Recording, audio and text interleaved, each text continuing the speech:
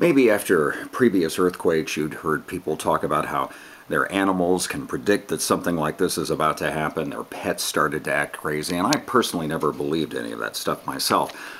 Until I saw the shocking video that Mrs. Poteet was able to get of the way our cats were acting at 5.30 a.m. Friday morning, and you can judge for yourself.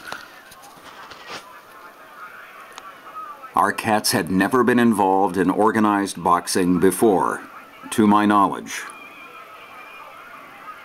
Clearly, unusual behavior. Very depressing, very disappointing. Very disappointing, especially since I'd had some money on the cat on the right.